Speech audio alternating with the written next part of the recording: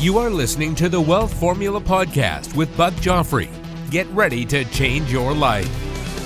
Welcome, everybody. This is Buck Joffrey with the Wealth Formula Podcast coming to you from Santa Barbara, California, uh, a little part of Santa Barbara called Montecito, where apparently now, as uh, you may have heard, my new neighbors are Prince Harry and Meghan, and it's uh, all very exciting. I'm, I'm hoping to have them over for a barbecue soon, and I will let you know how that goes.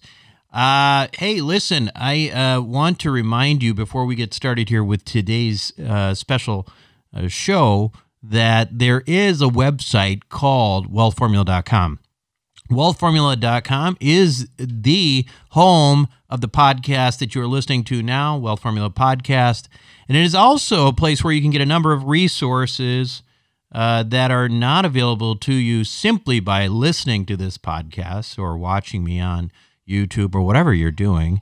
And those include free books. But other than free books and free stuff, there's lots of opportunity to sign up for lists that might be of benefit to you, including the Investor Club list. Uh, this is the list where everything that we talk about suddenly becomes reality for you. In other words, it's where the magic happens. You take these concepts that you learn on this show and you they come to life in Investor Club. Of course, in order to participate, you do need to be what is known as an accredited investor. Uh, I will let you look that up, but basically, uh, you either are one or you're not. It's not something that you need to apply for, but it really has to do with how much money you make, basically $200,000 a year, or through $300,000 if you're filing jointly and or a net worth of $1 million outside of your personal residence. Uh, of course, there are some new regulations there saying that if you have some simple, uh, you know, some basic financial stuff, some degrees or certifications, etc., then you can be accredited as well. But you may want to look that up. We'll we'll talk about that some other time um, in more detail. As for today's show, I will give you uh, one little bit of advice that I, I believe to be true. So, bottom line is uh, if you want to be wealthy, do as the wealthy do. That's a simple concept, right? If you want to be healthy, do as the healthy do. You know, the wealthy do not use IRAs, they don't use 401ks to invest in heavy, loaded mutual funds that suck away all their profits. That system as uh, you already know because you listen to this podcast, is really set up to make others wealthy, not to make you wealthy. The ultra wealthy get a completely different set of options when it comes to investing their money. They often have direct ownership in businesses and real estate, you know, like many of us do. So we're, you know, doing that right already. They may own publicly traded equities, but they're not paying you know the same kind of fees that most people do. The ultra wealthy also understand the importance of leverage like you do and apply it judiciously whenever possible to increase their returns. They are also keenly aware of tax efficient investment strategies. So all of these things or a lot of these things we already do uh, you know by uh, listening to this podcast these are the types of things you're already thinking about already. But perhaps the biggest difference in my opinion uh, between the typical retail investor and the ultra wealthy or affluent individuals that I know is that the latter, the ultra wealthy that is, do not simply hope for the success of their investments. They typically have some ability to engineer it, right? It's engineering something rather than just hoping for it. Now, what does that mean? Well, let me give you an example. Okay, let's take the example of permanent life insurance. This is kind of what we're going to talk about today. Dave Ramsey, Suze Orman, you know, these people who talk to the masses, they tell you to stay away from the stuff, right? Yet, if you look at it, the wealthiest families in the world, like the Rothschilds and the Romneys, right? Uh, they've used these products for generations to preserve and to build wealth. In fact, the wealthier the family, I, you know, I will stand by this. The wealthier the family, the more likely it is that they're using some kind of permanent life insurance as part of their wealth uh, building and preservation strategy. You see, the affluent do not view permanent life insurance policies as simply assets, right? And and that's part of the whole uh, confusing thing about why there's such a dissonance between the way you know different groups of people view this stuff. They use the elements of permanent life insurance uh, to enhance their other investments by manipulating those kinds of elements. So when life insurance is used properly, it is a tool to leverage your other investments, right? It's it's not it's not just an investment itself. It's not just an asset, it's a tool. So again, why would Dave Ramsey and Suze Orman tell you that permanent life insurance is a bad idea? Well, a fool with a tool is still a fool, right? It's hard to become wealthy if you're a fool, or at least to maintain your wealth for a long time, but you got to know how to use those tools. And permanent life insurance is a serious, like nuclear weapon type tool. Um, now, I've been trying to uncover these kinds of secrets of the wealthy for years now, as you know, and I've been podcasting about them. And along the way, I've learned a ton.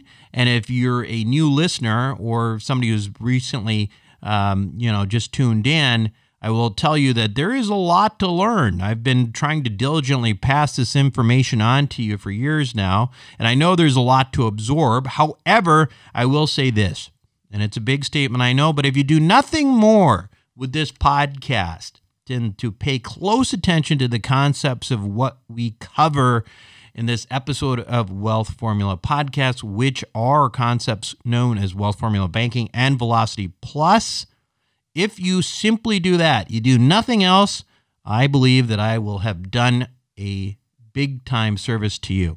And you'll figure out why that is when we come back from these messages. Welcome back to the show, everyone. Today, my guest on Wealth Formula podcast, well, they are uh, very well known to most of our uh, Wealth Formula community. Um, we've got a Christian Allen and Rod Zabriskie, who are our Wealth Formula Banking and Velocity Plus and all these other permanent insurance type products uh, representatives um, who help facilitate all those things and have, have uh, done business with an awful lot of you and hopefully will continue to do so because believe it or not, I think that these investments uh, in permanent life insurance could be the most profitable investment you can make and the single best financial position you can take in your life and for the life of your heirs. Now, that's a big, big, big statement.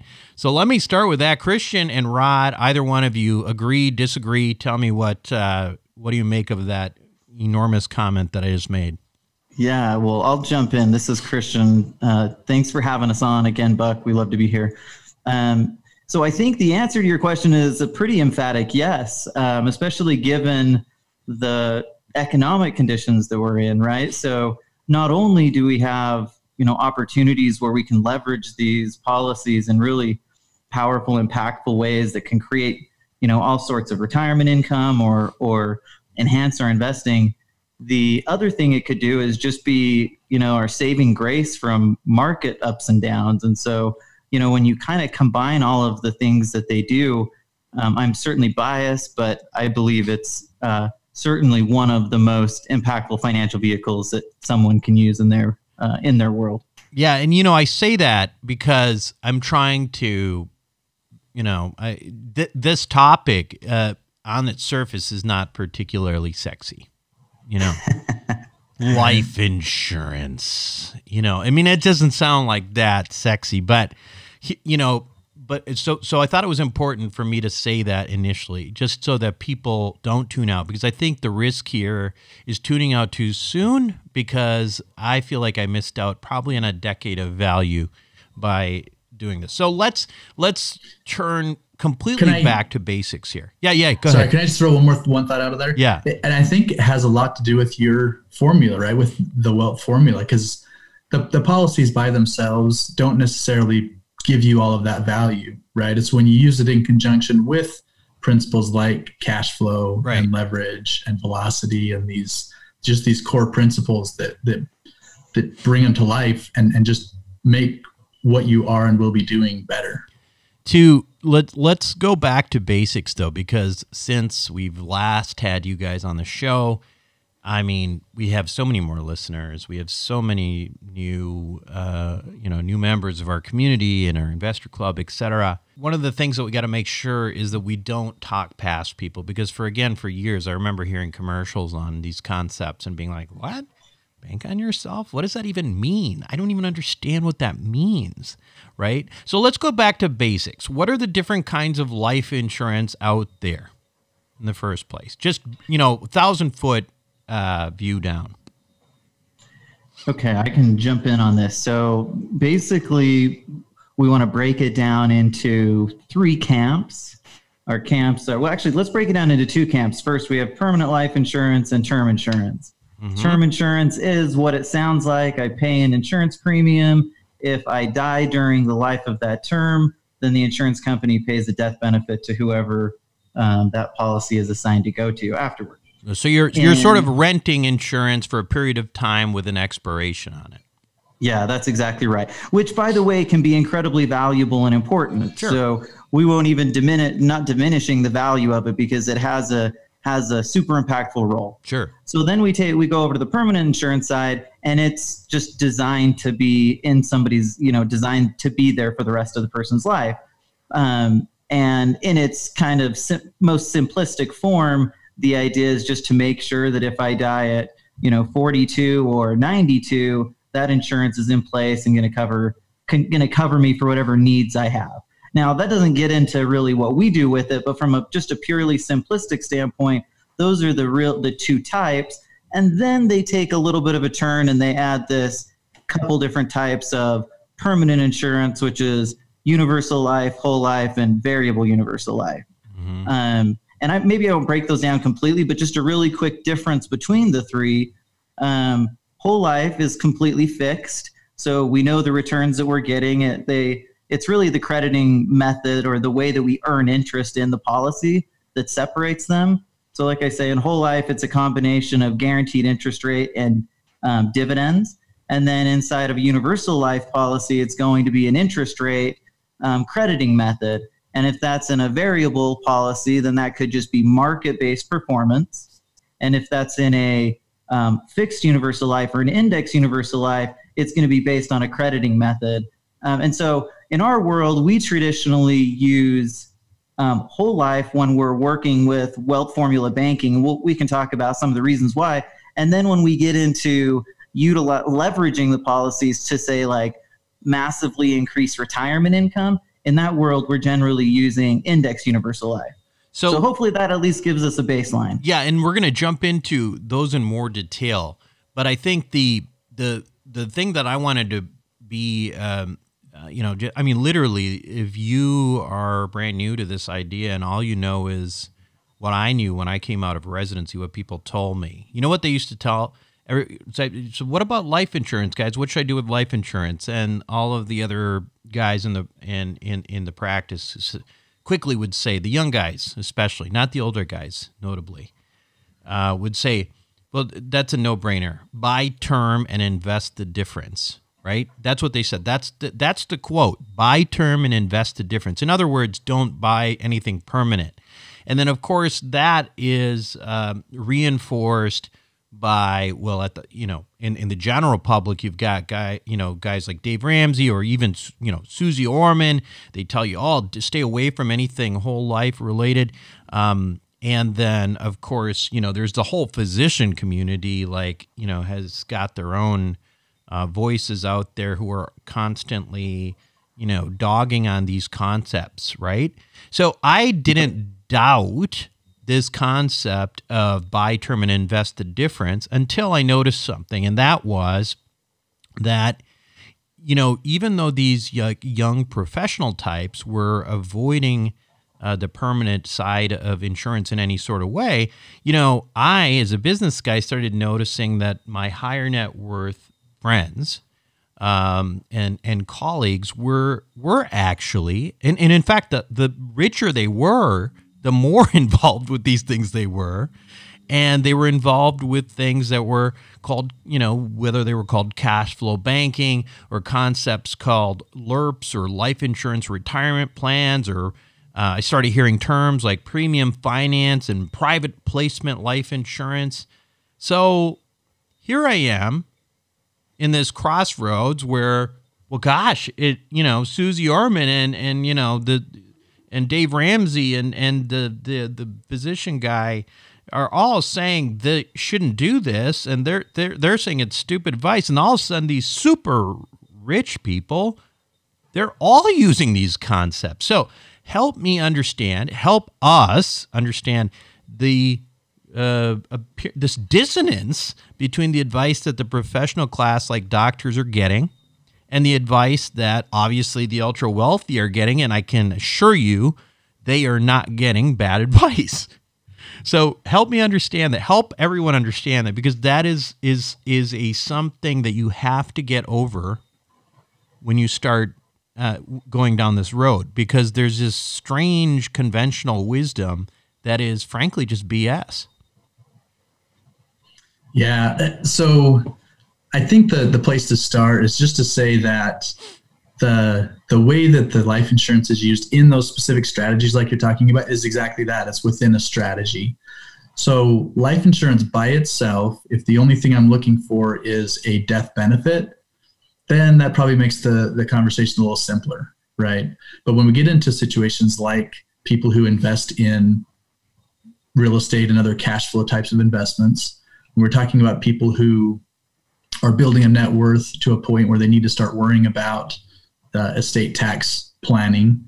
Uh, when we're when we're you know meeting with people who like to use leverage already in a lot of ways in their life, and we can show them some really creative ways to to, to use life insurance and leverage and and just create much better uh, results in their world. Then we're just getting into a, a realm where we're saying, okay, let's just understand the tool for what it is and, and use it in the ways that we can create the, the most benefit right? So uh, and part of that comes because it, it has tax some special tax treatment uh, given to it. And that's been in existence since the income tax was created right? Some you know the the uh, influential people at the time uh, placed a, a benefit on people who own permanent life insurance products. And so, uh, generally speaking, when we put money into these policies, we're putting after tax dollars. But everything that comes back out, whether it's while I'm living or when I die, it's all going to come back out tax free. And so, even that by itself opens up the door to a lot of different opportunities that, that people, if they understood even just that one fact, might be a little more open to it. Uh, but then again, what's the motivation? more details, Rod. What's the motivation though? There's underlying. There's always a financial motivation. Like, uh, is it just the the standard way of setting up permanent life for you know Joe Doctor? Um, is you know just a ripoff, and and and you know because they're really just trying to maximize commissions and they're not really trying to create a strategy. Is that why? It's it, it's bad? Uh, explain that a little bit. Yeah, great question, and and that's I think that does get down to the heart of you know when Dave Ramsey or Suze Orman or some of these other gurus uh, speak against whole life insurance or or any of these permanent life insurance products. Uh, generally, that is what they're speaking against is the vanilla form that's just put out there. Hey, you know, put money into this and you know build the cash value and etc. Um, Whereas when we talk about it in the context of these specific strategies that the wealthy use, it's a very different conversation. We're, we're creating a very a very different type of policy that is maximized toward what we want, right? The living benefits, the growth of the, the cash inside of the policy and access to that cash, uh, et cetera. Again, we'll get into more details as we talk maybe about some of the specific strategies, but but there are just things we can do with life insurance, especially when it's created and and strategy that uh, in conjunction with that strategy, then uh, we can just do very different things with it. The so yeah, go ahead, Christian. Yeah, really, so one of the things that I think ends up happening is that when the gurus and when a lot of people are considering what they would like or not like out of life insurance, they start considering it as and all as and comparing it to like a traditional investment right and so that's so that ends up being the first mistake like in the ways that we use these policies the the underlying policy alone is never the is never the end all be all, right? We're still we have to use other things in conjunction with that to really be able to grab out all of the value.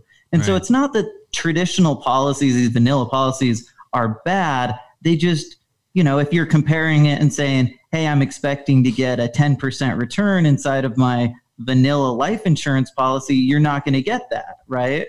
Yeah. So, bottom line is here's the deal. This is the way I think um, I think you should people should look at this.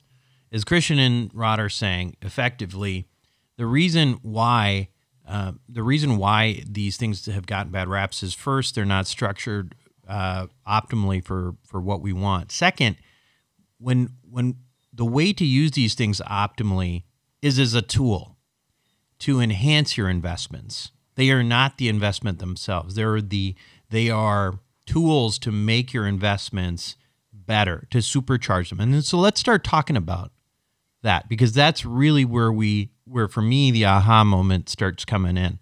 So um, you know, and and these concepts are not that new. I mean, I think even since the it was in 1980s or 90s, and Nelson Nash wrote the Infinite Banking book. Um, so there's a lot of products out there. One of the core products that we love is in what we call wealth formula banking. This is similar to the Nelson Nash concept, although this is really further optimized quite a bit even from that. Would you who wants to describe that for us? Yeah, I can yeah, I can jump on that. So, uh, wealth formula banking, as you said, originally uh, Nelson Nash called it infinite banking. Uh, there are other terms for it, uh, cash flow investing or cash flow banking. Um, and in other contexts, we call it the investment optimizer. So anyway, it, it's the idea behind an, an infinite banking is that we're building up cash value inside of our whole life insurance policy. We're getting the tax benefits we talked about. Uh, we're getting a very consistent growth on that uh, on that cash, and we have access to it in the form of a loan. So again, if you're new to this concept, I'm gonna I'm gonna do my best to to in kind of this brief context explain it, but uh, you can learn more and go to the wealthformulabanking.com website. And we have a, a really in-depth webinar there that you can take a look at. But the idea is that when we access that cash, and because we're able to do it in the form of a loan, then we have that cash. We're going to go out and use it. In, in this context, we're using it for investing, real estate, businesses, notes, whatever that might be, some sort of cash flow investing. And uh, but because we use we, we access that money in the form of a loan, our underlying account value stays there and continues to grow on this path of, of earning the guaranteed interest plus the dividend. And so we're quite literally creating value in two places at the same time. And so maybe to add some context between what the traditional infinite banking concept is doing versus what we're talking about here is you, you probably hear people talk about infinite banking and in a lot of different ways, right? Hey, go buy all of your cars through infinite banking, uh, use it to finance your trips, uh, etc. Right? Which which is fine. You can do all of those things. Uh, the way that we talk about it, though, is we are hyper focused on using it in conjunction with cash flow investing. We want to use it for uh, in ways that where we're creating value in multiple places at the same time, very directly, and in this case, using the cash flow that we create through that investing to funnel that right back into the policy re, and regenerating what we, we basically call it an opportunity fund. We're regener- regenerating the opportunity fund so we can take a loan and go back out and do it again. And so it creates this, this cycle in conjunction with the investing that people are already doing and will be doing in the future. And we're just making it better. So let me just reiterate what Rod's saying because I'm uh, I'm good at dumbing things down and making them easy. I think. So here's the concept that I think was really just the aha moment for me on this was, was okay, so you can put say you had and and by the way, there's not like a minimum on this per se. This is not a product just for you know high net worth individuals although you know the more you can put in this stuff the better but um, so the concept was uh, basically, as I understood it, was okay. Well, let's see. You could take a hundred thousand um, dollars in a year if you wanted to. Uh, and put this in a policy within just a few months. Uh, the majority of that you could even start to access to loan yourself money to invest somewhere else. Okay, so initially when you hear that, you're like, okay, well, why would you even bother putting it in there if you were just going to borrow it back anyway? Well, here's the concept. So I put the money in and it's growing at say, let's say it's like five and a half percent, right? That's uh, that's a uh, you know fixed uh, interest plus dividends. Dividends aren't supposed to be guaranteed, but in these companies, generally they've been you know they've been distributing these dividends nonstop since the Civil War, so it's pretty darn guaranteed. Okay, so I'm I'm I'm not I'm going to say that even though it's not the case, but the way I see it, if something's been every year since the Civil War, through uh, through you know hyperinflation of the '80s, through the uh, through the Great Depression, then to me that's that's a pretty good track record. So okay, making five five and a half percent, whatever on that, and I'm not saying that's going to be for everybody, but now your money's growing at a compounding rate there. Now, if you don't know the difference between simple interest and compounding interest, look it up. It's a big difference. So your money's growing there, compounding interest, fantastic. Okay, so now I borrow it, but here's the beauty of this is why it's different from, say, like a home equity line of credit. So I'm borrowing money, and effectively the cash value in my uh, in my policy is not getting removed from the policy. It's acting as collateral in effect, and I'm borrowing money from the insurance company.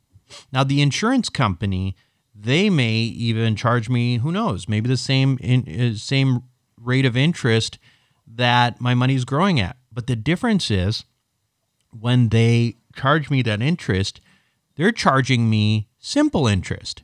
And my money continues to stay in my account and it's growing at a compounding interest. Now, the divergence of that is really the huge deal here over a period of time. And so you can take that money that you borrowed and you can invest it into something else. And so now your money's growing at this compounding rate. You're paying back at a simple rate, and your money is then invested into something else. And in effect, you've created a return in two places at the same time. That's the magic of this. Am I did I say anything wrong yeah. there? No, everything you said was was on par and and so really what it ends up being when we meet up with a lot of people who are already cash flow investors and they've been doing this, typically what they're doing is they're just flowing that money in and out of a savings account or a money market account, right? They build up the account, they take that money out, they go and invest it, it creates some cash flow. They flow that back into the savings account, builds back up, and they go and do it again, right? In this case, what we're doing is we're just replacing that with with this uh, this specially designed life insurance policy so that we can capture growth, right? You're not getting any growth in the savings account, right? Right. Uh, to begin with, and then and then the growth that you do capture, it's tax free, and then this difference between simple and compound, this arbitrage that we're able to create, uh, just we're just able to create much more efficiency in the system, so that uh, you know that cash flow investor doesn't have to feel like, hey, when my money's sitting on the sidelines, it's just not doing anything for me, right? Right. I just have these these just uh, lack of efficiencies in the system. We're we're just building a process that, that takes care of those. So so that's I think that's for me was the big aha moment is realizing that this whole double dipping concept this idea of leveraging because ultimately what we talk about in wealth formula in our you know our mathematical form, formula here has always been you know, wealth is equal to a function of mass, meaning how many, you know, how much money you invest, uh, times the product of um, uh, velocity, which is how quickly you get your money back in leverage. And so, in effect, what we're doing here is we're using the life insurance um, uh, concept, the product, to add additional layers of leverage to our investments. And of course, that results in leverage appreciation. And so, uh, if you I think Rod goes through a few of these examples uh, at wealthformulabanking.com if you look at the webinar. But in effect, the uh, the numbers that you can get in terms of increasing your total return on capital is pretty astounding. And all you did was drag it through this policy before investing it. That's all you did, really. And then you created an additional layer of, um, you know, a benefit for your heirs in the event that you died. So what am I missing here? What, what am I missing? So I think I think you nailed it. In fact, um, we show an example uh, on the webinar where someone just puts in a hundred that when you're, when you're contributing a hundred thousand dollars and every five years they go into a new investment opportunity um, and we show the difference being over a 20 year time frame over a million dollars so again when you look at it you say okay like i could just do what i'm doing through my savings account or i could make this adjustment. I could literally have a million dollars more but all along the way i've had creditor protection and tax benefits and all these other things that go along with it. So from that standpoint it's it's just incredibly valuable and multi-purposed. Yeah, and you know, there's so many different ways to look at uh, banking too, and I've sort of evolved in many ways too. Initially, looking at it from that you know double dipping perspective, and now I you know I I I look at it as um, you know a, a, an ongoing source of liquidity. A lot of real estate investors don't have that, but if you're going to have money sitting somewhere and it's growing in a, you know, a, a creditor protected account, tax free, you know, five and a half percent or five percent or whatever it is, uh, compare that to the bank. I mean, there's just so many uh, additional benefits to it. But let's let's switch gears just a little bit because um, so we were doing this and um, you know we uh, I got involved with you guys that helped me really understand this and obviously you know I I drink the Kool Aid on this, folks. I have you know I have pol- policies myself. Um, and but in in that process you know i started learning more about some of the other products and one thing that i found was there was something called um, indexed universal life which um which is an interesting concept. And actually tony robbins brings it up very briefly in his uh, money money book you know learn the game or whatever it was. And then he never explains it. He talks about it. He just kind of just says, what if there was this account where you could take, you know, 10% of the upside of the market and none of the downside? What if there was that? And then he never says anything about it. Well, that's what this is in a nutshell, but then add leverage. So I still is is sort of crazy to me that this is something that works, but it it's okay well why don't why don't one of you explain this concept because it's again it's a little mind-boggling when you hear about it for the first time we call it yeah, by the so, way velocity we call it velocity plus and it's there's a webinar on this on wealthformulabanking.com as well. Well so you hit on it buck. Uh, most people already are familiar with this with the idea of leverage and some people have heard about this index universal life thing. I'll hit on that for a second in just a minute.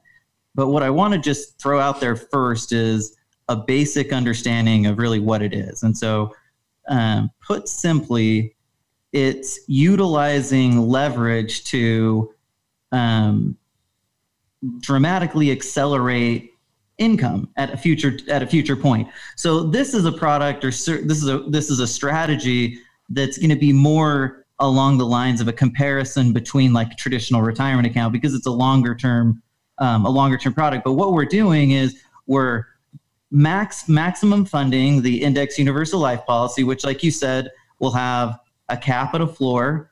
Basically, it's let's just use the numbers you said. Let's say 10% is my cap, zero is my floor. Put simply, if the market goes up 10% or more, I get 10%. The market's down, I just get zero in that year. So, like you said, we don't lose money, um, but in that given year, we may not gain it.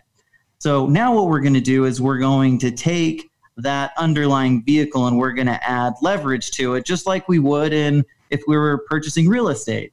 And we call this concept conservative leverage. So we're going to add this layer where when I put money into Velocity Plus, I might put in let's just let's just throw out some example numbers. If I put in fifty thousand dollars, I would put that fifty thousand in for five years. The bank, which is which is going to be the leverage component, is going to contribute the same 50,000 for those first 5 years and then I'm just going to stop. As the investor as the policyholder I stop. The bank continues to fund that for um, another 10 years. So what's happened is it's a for every dollar I've put in they're going to put in about 3 um, and what's really amazing about the concept is that just by creating an arbitrage between interest earned and interest paid with the addition of leverage, we can we can bring that out and draw huge amounts of income. So I'll just give you a quick uh, income example. So if I was a let's let's just say a 40 year old um, and I started to get into the concept, I could put in fifty thousand dollars a year for five years, so a total of two hundred fifty thousand. And then from the ages of 65 to 90, I could take out 150 grand a year tax free for a total of 3.9 million dollars. So I put 250 in, I get 3.9 million out. And that's because we're utilizing the life insurance policy, the time value of money, and um, leverage. So this so is a, those three components. This is a you might wonder like how do you get those numbers? Those numbers sound kind of downright crazy right? And here's let me explain this because I think again the leverage is key. As real estate investors, um, think about the return that you're getting on the market, whether that's seven, eight percent, or you know ten percent. In this case, was the cap. Although you know that's that's different, right? Sometimes it's higher, sometimes it's lower, but let's use effectively what that is is that's our cap rate right that's our cap rate and and then so then we add leverage to it. So if you have three to one leverage and you have seven percent gain, and I'm using that as an average of the S and P conservative average of the last couple decades or whatever per year, that seven percent will actually uh, result because of the leverage in an increase uh, in in a yield of approximately just under twenty percent uh, for a given year. So now imagine that is, again, now it's compounding too, right? This is compounding. That's why this thing is so dang powerful. And so the question to me that comes to my mind is well, why wouldn't you if you have money in the market anyway and you're counting on the S&P 500 why wouldn't you do it this way instead of just having money in the market because here because you've got the cap and the floor, you've got effectively guardrails. Okay. You might be saying, okay, well, I'm giving up some of that if I have a cap at 10. Not really, because if you have 7% gain at 3 to 1, that's like 20%. How often does the market go up 20% in, in a year? It does, but not very often. Right? So you've got a cap and a floor. You go below zero, you're not going to end up losing half your, you know, retirement money and then the cap is really not even so much of a cap because with the interest because of the leverage you can take a lot of that gain and probably more than the market's going to give you uh, definitely more than the market's going to give you um, so then why would you not want to have exposure to the market with guardrails like that and leverage to me it sounds like kind of a little bit of a no-brainer but so, so what are the downsides here? What are we not seeing? I mean, has this been stress tested? I know the answer to this, by the way, but I'm tell tell us because again, this is one of those things that I mean. Listen, I just think you know there are a few of these things where, to me, it's like, uh, I mean, why this this sounds like awfully, you know, maybe a safer way than to just have your money sitting in your typical, you know, brokerage account. So maybe I'll take a quick shot at this, and Rod, you can add to to uh, anything I miss. But um, I think I think when people learn about it, um, it does become a lot more of a no brainer, especially when you're comparing it to like traditional retirement accounts. And so this is something that has been really fun to see take hold because um, a lot of your listeners have been actively. We've been working with a lot of listeners to help put this into place.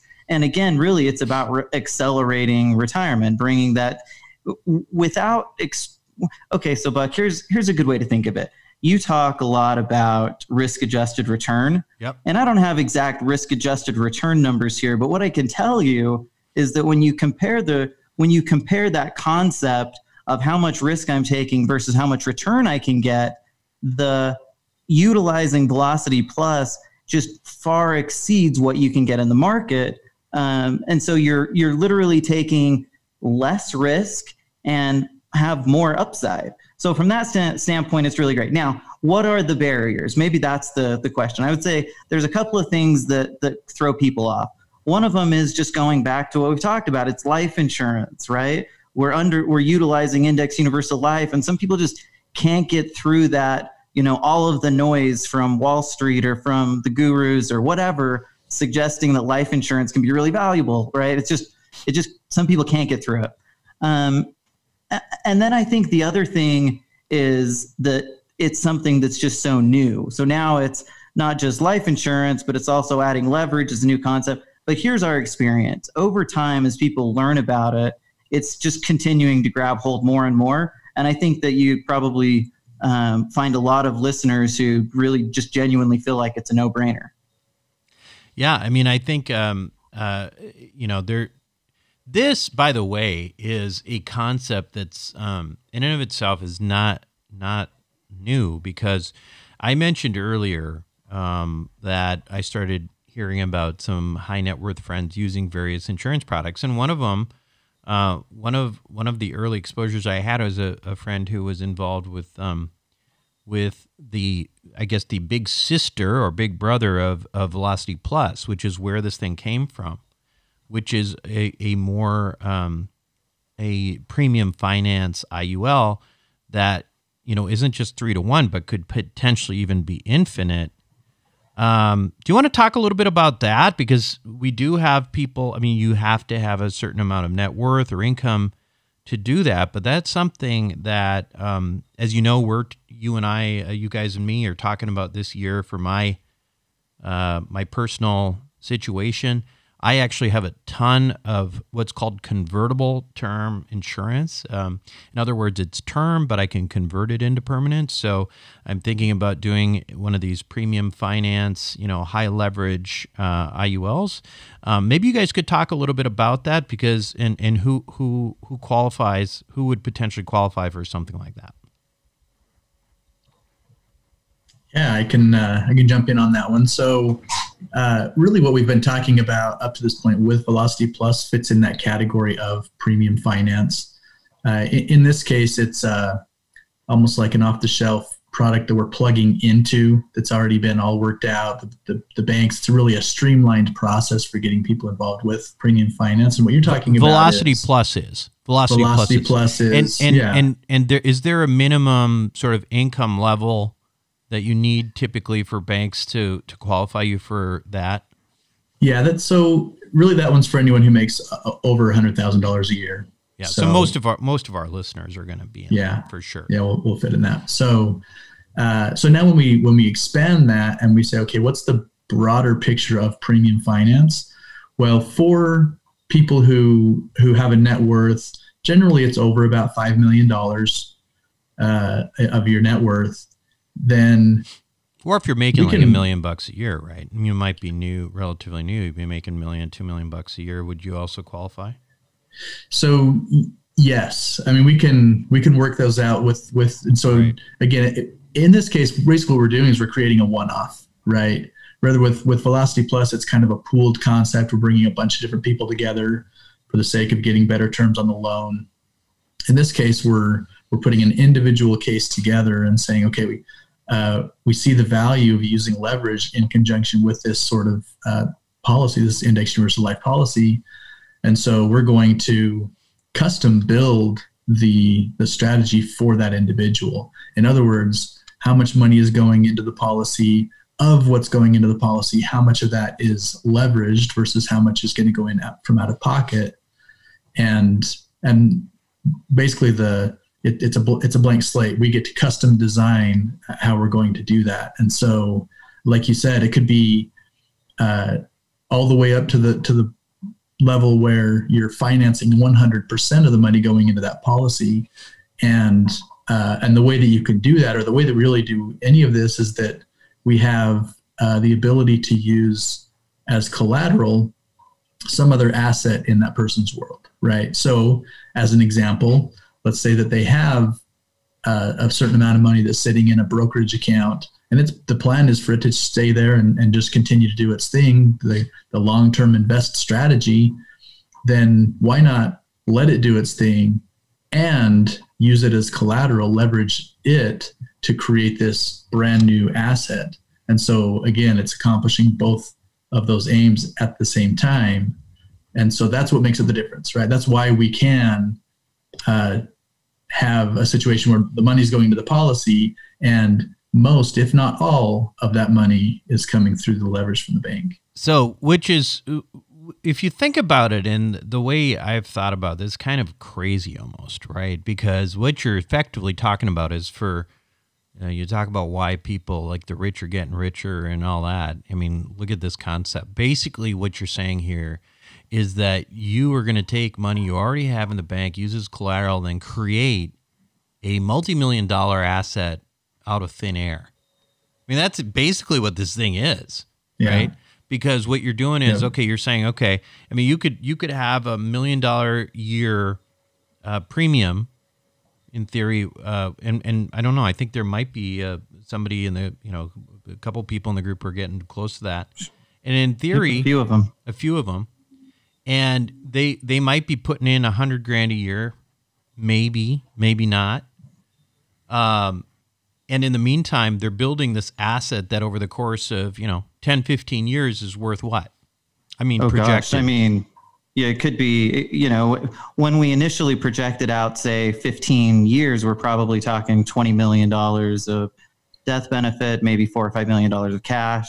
And when you project it out to a person's life we're talking about you know a 100 million dollars um, and again it's something like you said can be created just by utilizing an asset like we like to call them lazy assets something that's you know sit, is like a buy and hold situation. And now like you said you can create this ma- and it's and it's like you said the whole rich is getting richer. This is generational wealth. This is how people really take things to the next level uh, yeah, I mean it. It's sort of again mind-boggling, and a number of you I know qualify for this.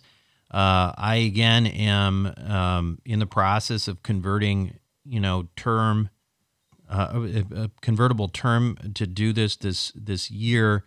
Uh, I just think it's it's something for a lot of you to think about because it's all it's doing is it's taking money that you already have and using it as collateral. And the other thing is that understand that the collateral is not necessarily as much as you would think right? That's the other thing about it is so if you have if you were, you know, if you're doing a million dollar a year, you know, um, you know, zero, you put no money in at all. Uh, what did, did, I remember? You guys had some projections for me and like sort of yeah. maximum collateral amounts and stuff like that. What was that?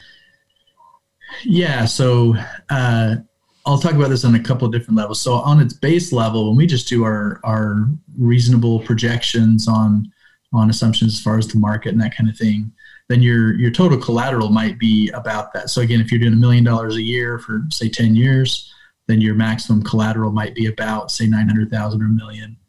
Um, now, one thing to clarify is that is the maximum as well. So that might mean in the first few right. years it would be significantly less than that, but that would be like the high water mark. Mm-hmm. Yeah. Right. And, and, and then, by the way, if you put a hundred grand a year in into that instead of making it, you know, purely a hundred percent bank leverage, all of a sudden that may drop substantially. Yeah. Collateral. Yeah, exactly.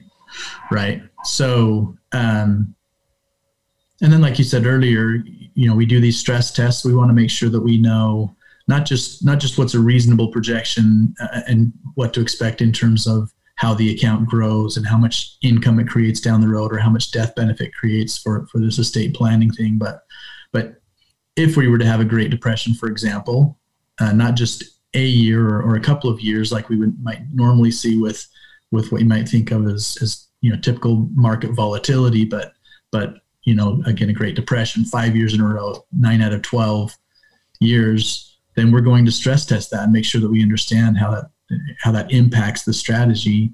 And then on the on the flip side, because interest rates matter on the loan side, then we're going to do stress testing against the uh, 1980s when interest rates were quite high for a long period of time, so that we can understand how does the how does our strategy hold up in that scenario. So again, we don't just throw out the rosy numbers and, and just say, hey, we hope this is what it's going to be, but we all are on the same page when we when we talk through this to say, okay, uh, this is actually probably realistic on what it's going to be, but let's also look at, at you know kind of worst case and from a historical standpoint what that would look like as well. Uh, just uh, just to clarify too, with with Velocity Plus, which is the sort of in a in a box um, program, there's no required collateral either, which is also kind of nice. Um, yeah. The let's let's um one thing that people get sort of confused on, and I think it's uh, useful to uh, address is we keep talking about you know the listen if you haven't figured it out by now, these policies, these these um, you know these strategies that we're using, as much as they are actually technically life insurance, we're really talking about creating wealth for you and in your life, right? So, um, so say you do you know Velocity Plus, or or you do you know some premium finance thing, and if you accumulated a bunch of cash, you've got several million dollars 10 15 years down the road of cash value and you want to you want to use it to retire. So how is how is how does one get the money out and why is it tax free and how does that all work? Yeah so uh, to begin with so how does how does one get the money out? Um, a little bit ago we talked about in wealth formula banking we use this this idea of a loan against the cash value right in premium finance, we do the same thing. Again, we want to maximize our use of leverage. So when it comes time to take income, we're not actually removing any cash out of your account.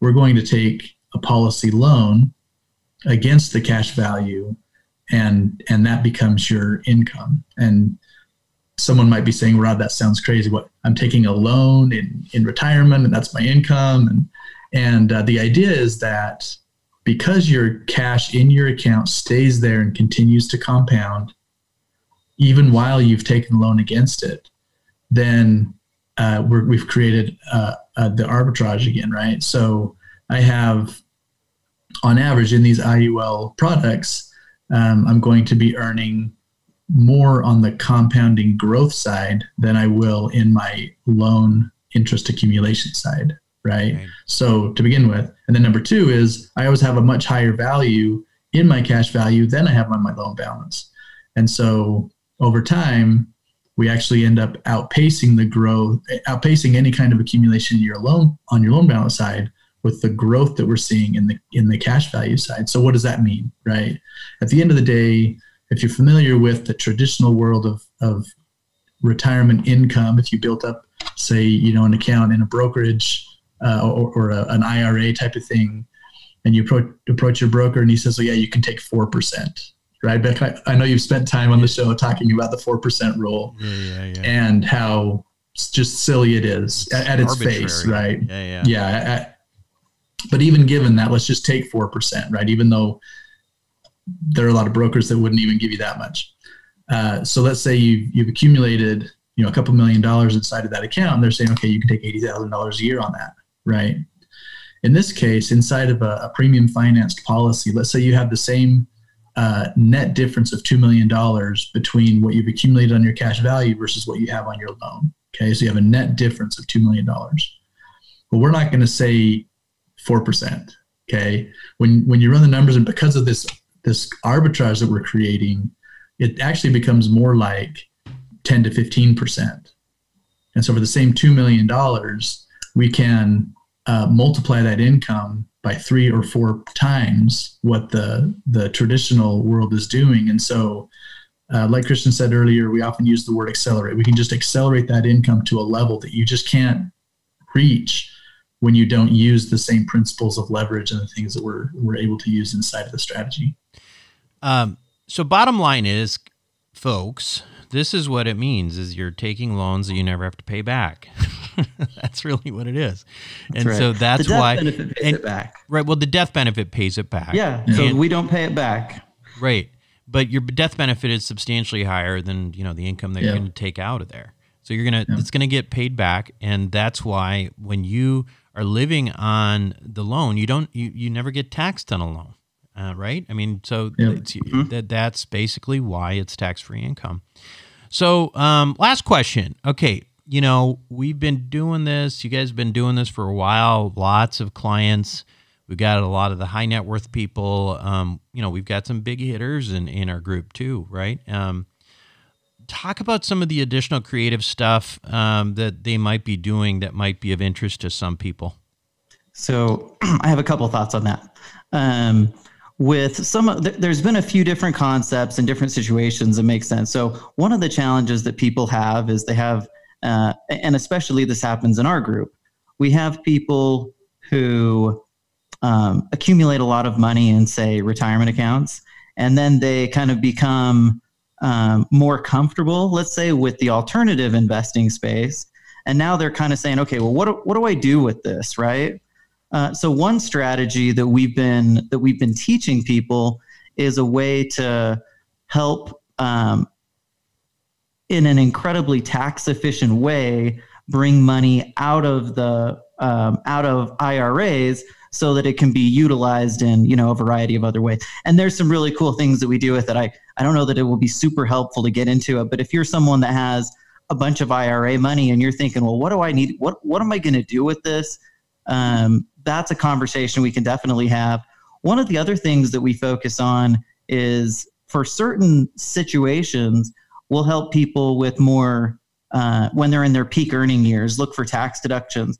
Um, for example, we talk we've talked a lot about utilizing captive insurance in conjunction with premium finance. Mm-hmm. Um, and we can extend that further to things like defined benefit plans and cash balance plans and things like that. So there's really a variety of options and things. At the end of the day, what we're what we want to do is help your um, high income uh, listeners, you know, become high net worth. And these products, as you can tell, are all and strategies are all really designed to do exactly that. Yeah. Good stuff, guys. I mean, listen, I um I am a massive believer in this stuff, as you know. Uh, you know, I drink the Kool-Aid. I'm doing the stuff.